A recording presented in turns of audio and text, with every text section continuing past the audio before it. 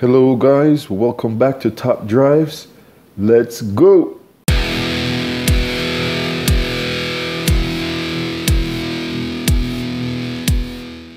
Hello, guys. Welcome back to Jack in the Middle. And uh, today we're back for another episode of Top Drives. We're going to be looking at the results from the BMW Challenge. And um, I'm going to show you also a little tuning secret I have learned. So, real quick, I'm going to go ahead and pick up some gold, practice what I preach, show you guys what I do every day so that I could open slots. All right, so there we go. We got our goal. Let's jump right into into collecting this. So the first is for the rare challenge. We went plus 28, uh, rank 19. Got an aluminum pack. I'm gonna go through that. Um, all right, guys. I hope you guys saw my last video about my the RQ secrets about you know kind of what I've learned, and um, you know so I was pretty much doing very good, dominating very well. I even winning cars at the top of um, top of the RQ 80 class, but I have since been bumped up. So this is the today's challenge. Um, I've since been bumped up to RQ 100 because just from doing the um, I was trying to hold off, trying to hold back, but just from doing the daily races, um, you know, winning winning cards back and forth, I have um, I actually it bumped me over to 100. So I'm now I'm now in the 100 RQ category, and um, you know I'm still going, still doing daily matches, but it's like I'm I'm I'm coming out negative, negative every single time. So my my um my trophy is going down, down, down. So here's the drag BMW, got plus 32, and uh, rank 27, and we got an aluminum pack in this one here.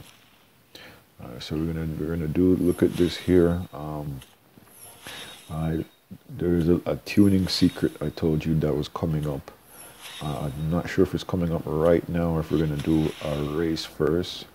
All right, got a decent um, super rare performance car from that. That car is still in my garage actually, even though I have no space for any cars.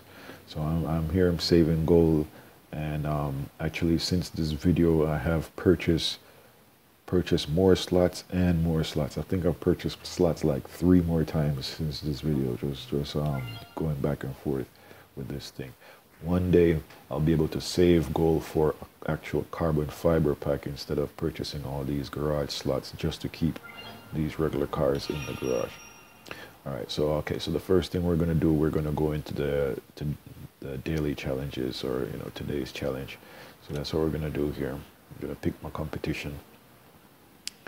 All right. Um, so we're gonna do that. I feel like there's missing something I, I wanted to mention. Okay, I was um talking going to talk to you guys about the tuning secrets I've learned. So we kind of cut away. Go ahead and look at the screen, look at the matchups. You guys are kind of familiar with it. I don't have to hold your hand so much to tell you why we match which cards to which. Basically, we're just trying to go through the win lose situ- the win lose situation of the hand that you that you have, and um, you know trying to win as many matches as you can. And um, if you have to lose a match, try to make them the loss not so bad that you can't um, win the overall match. You know, if you have to win, if you have to lose a race, make sure that, that that one loss that you take is not so bad that you have to that you end up losing the overall match. All right, so it's a little game of give and take sometimes. Right, but what I've learned is you have, and we're, we're going to see an example of it soon, but since I guess I'm so long winded, I'm going to start explaining it right now about the tuning secret that I've learned. You only get 24 points, or you know, 20, 24, um, 24, whatever they call it. You, you, you have, you have, um, you could upgrade the car 24 times. You know, up, upgrade upgrade 22 and 24 things. And I guess it's uh, this car here in particular is a car that comes that comes up all the time because if you, you see this on the track to max, my car is max tune, comes out to 4.291 as you can see on your screen for the way I've done it. So the way I have done the car, I have maxed the um, the zero to 60, um, and um, I've kind of neglected the um, the handling which is something I, I guess I kind of just kind of figured out, and I, and I figured it out for the first time actually doing this um, at the time of doing this video here is where I figured out what was really happening, what was really going on.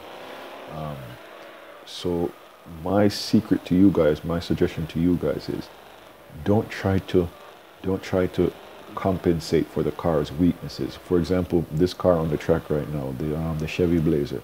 You the Chevy Blazer is a very good performing car, zero to sixty, and has very bad handling. So you would be tempting in trying to in trying to tune the car, you'd be tempted to try to fix the handling on the car and neglecting the zero to sixty, right? And um, so you you'd be tempted to do that, right? And um, my suggestion here is if you're if you're close to the top 10 I usually just leave it right there. I don't I don't keep pushing. I'm going to have to try though because that's another thing we're, going to work on. I'll, I'll, bring that to you in a future video. All right so I believe it's right here. I'll talk to you about that about the future video in a second. So we're going to cut away. So looking here. We're going to go look at the Lotus. The Lotus has 22 if you notice it says it says where it says upgrade it has 22 of 24 so I have two more slots. So I already maxed the engine and um, now I'm about to do the weight reduction because I'm trying to put as much to, towards the engine also. But apparently everybody does that. Everybody tries to compensate for the um, because the grip is very good already. So everybody tries to get the most out of the engine knowing that the car is very good at handling but the car comes as a great handling car to begin with. So what you want, so my advice to you guys in the in the in tuning your cars in the future is don't go against the grain. If the car is a great handling car, keep upgrading that handling because that that's what you're going to need in the long run. And, and the speed will take care of in, in itself.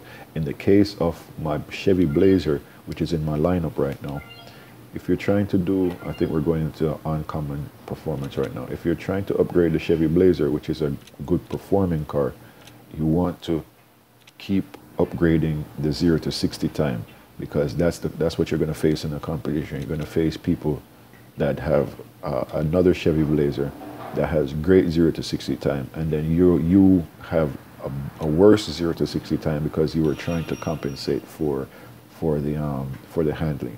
So you were you were putting a lot of points into the handling, and you might end up in a match where the handling doesn't matter too much. You're probably just doing a hill climb or something like that, or uh, you know the, you you might end up on a on an actual um, asphalt track where you know the some.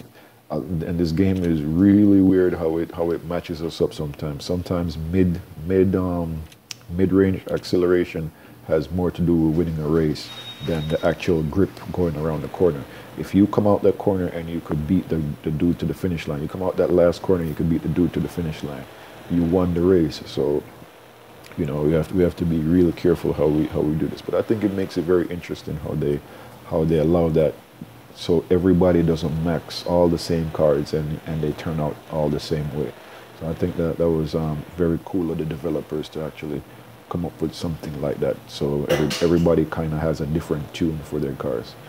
Um, so uh, back to what I was saying with you guys. What I've what I noticed is um, you have some people in the daily matches that they have tons of points. They're in number one, first place, but they have tons of points, and you wonder how that happens. So I'm gonna I'm gonna try it out for myself one of these days coming up, and I, I think I'll try it with you guys. Is um is just even if you're number one because that's happened to me before especially if you if you if you're one of the first people as soon as as soon as the daily matches come up if you're one of the first people to race sometimes you are number one on the board.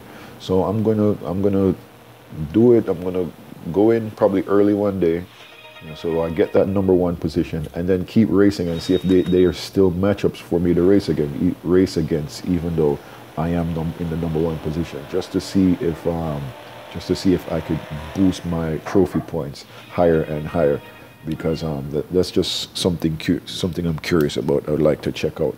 All right, so that's for upcoming video for you guys.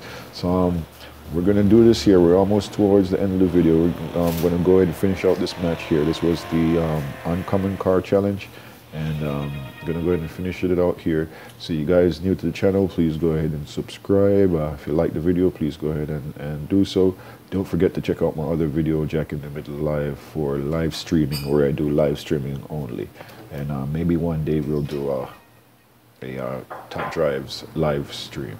All right, so um, so I want to thank you guys once again for joining me here today. I'm just gonna go ahead and collect up these cards. All right, uh, probably take a last look around or whatnot. I don't know if I gave you a garage tour, a final garage tour. The garage is real messy right now, anyways, guys. All right. So that's it. Thank you guys for hanging out with me. I think I'm gonna leave you right here.